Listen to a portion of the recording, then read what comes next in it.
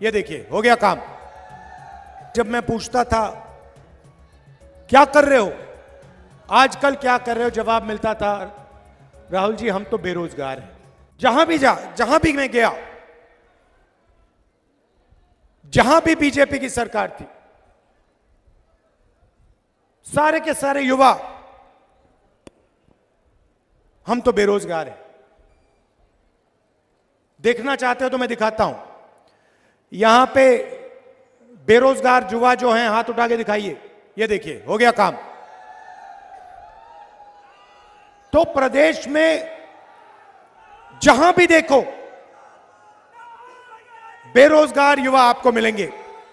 और जब मैं, भैया, एक सेकंड, बोलने दीजिए। और जब मैं उनसे पूछता था अच्छा रेलवे स्टेशन में रेलवे स्टेशन में मुझे एक युवा मिलता है। कुली जो कपड़े पहनते हैं लाल रंग के कपड़े पहनते हैं लाल कर, लाल रंग के कपड़े पहनते हुए मुझे मिलता है। मैंने बातचीत शुरू की।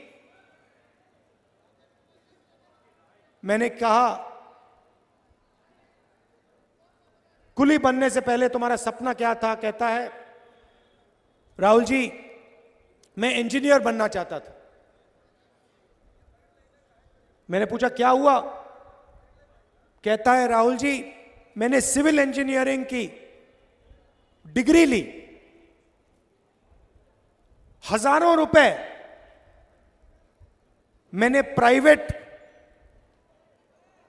कॉलेज को दिए। रोज़गार नहीं मिला। आज मैं कुली का काम कर रहा हूँ। यह इस प्रदेश की और इस देश की सच्चाई है। युवाओं में कोई कमी नहीं है। ऊर्जा है। भैया, ये बाद में करना। ऊर्जा है। देश को मज़बूत बनाना चाहते हैं। देश को खड़ा करना चाहते हैं। मगर यह देश करोड़ों युवाओं को रोज़गार नहीं दे पा रहा है। तो सवाल उठता है यह हो क्यों रहा है? युवाओं में कोई कमी नहीं है। अगर कमी होती तो हम कहते, देखो भैया, युवा काम नहीं करना चाहते युवाओं में कमी है, इसलिए रोज़गार नहीं है, मगर युवाओं में कोई कमी नहीं है। दुनिया के सबसे कर्मठ, होशियार युवा हमारे देश में है। इस प्रदेश में लाखों युवाओं से मैं मिला हूँ, कोई कमी नहीं है।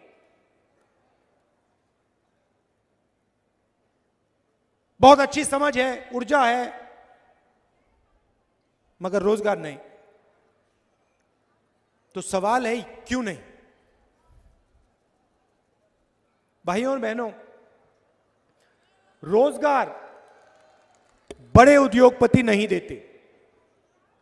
रोज़गार छोटे व्यापारी जो स्मॉल एंड मीडियम बिज़नेस चलाते हैं,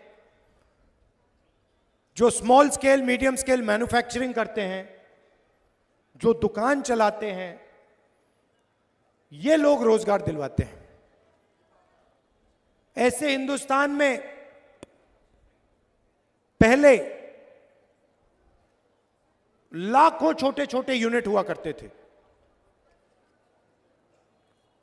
कोई लोहे का काम करता था कोई छोटी ऑटो कंपोनेंट्स का काम करता था, मैन्युफैक्चरिंग करता था।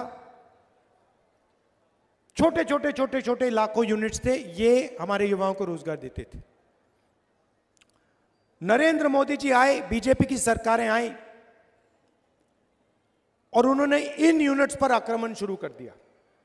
छोटे व्यापारियों पर, स्मॉल मीडियम बिज़नेस पर आक्रमण शुरू कर दिया। कैसे किया? नोटबंदी और जीएसटी जीएसटी भाइयों और बहनों, ये टैक्स नहीं है।